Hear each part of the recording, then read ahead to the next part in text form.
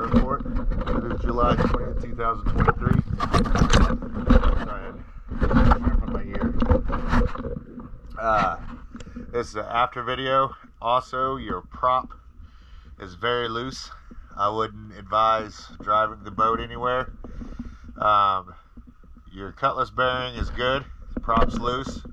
I'm not a boat mechanic at all, but I feel like with the prop being loose and rattling, it might cause your cutlass bearing to go out. But like I said, I'm not a boat mechanic. I'll send this video to my boss, and he'll uh, instruct me on how to uh, properly handle it. Let's go have a look at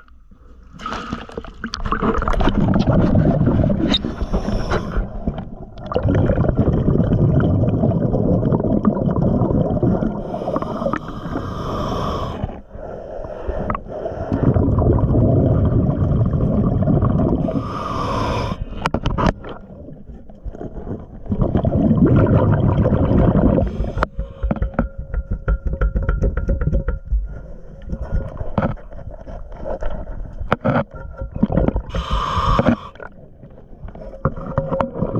Okay, you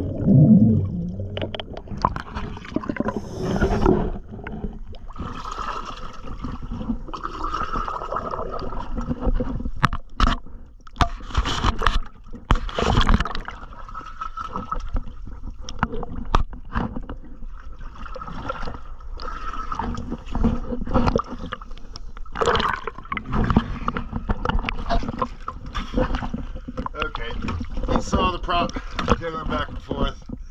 I was trying to find if where the key was, but I didn't see the key slot or the key. I didn't see it in the video, but it's a little murky down there. Also, I did try to tighten up your prop nuts. That didn't seem to work. Uh, this video's this speech is pretty much for Dane, so he knows everything. Um, I think maybe getting some boards, putting it up against the hull, so I could probably maybe tighten it up like that. Not sure about Alright, thanks for choosing DS Diving.